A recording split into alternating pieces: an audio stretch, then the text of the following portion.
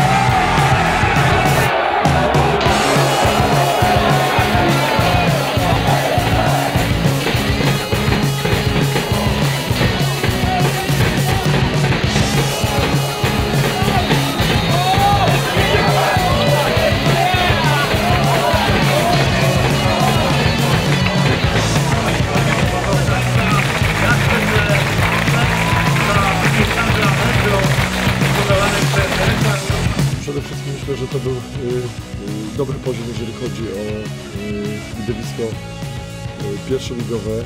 Mecz walki, mecz bardzo agresywny, zarówno z jednej, jak i z drugiej strony.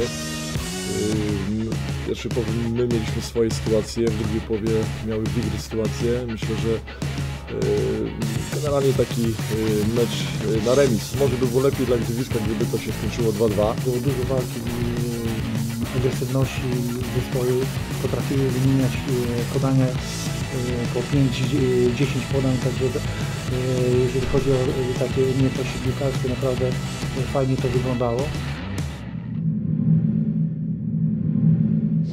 LNTV New Media